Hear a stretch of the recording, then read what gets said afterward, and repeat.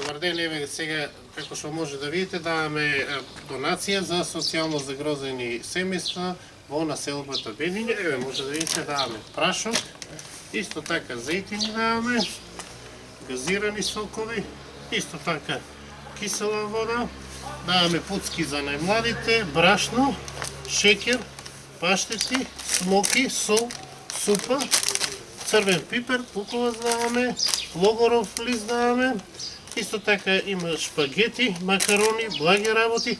Сето ова, драги гледачи, ќе го ставиме во овие кутии и ќе го однесеме за нашите браќи и сестри во населбата Бедиње. Првен сега се наоѓаме во Бедиње и помагаме на нашите браќа и сестри во храна, средства за лична хигиена и пијалаци. Фала, фала.